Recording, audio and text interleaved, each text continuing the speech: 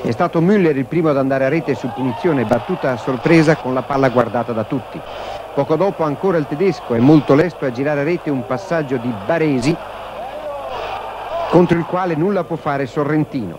Ancora Müller serve bene Serena che in piena area viene atterrato dal portiere del Catania. È rigore. Altobelli lo batte e segna iniziando così la sua goleada.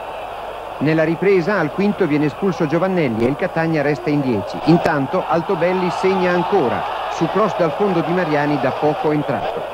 Spillo sembra inarrestabile e si dà molto da fare. Eccolo girare a rete di piede.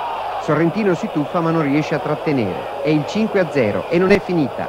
Poco prima della fine Müller, sì proprio lui, serve Altobelli che al secondo tentativo riesce per la sesta volta a superare Sorrentino. L'abbraccio finale tra Altobelli e il tedesco sembra metter fine a recenti polemiche tra i due.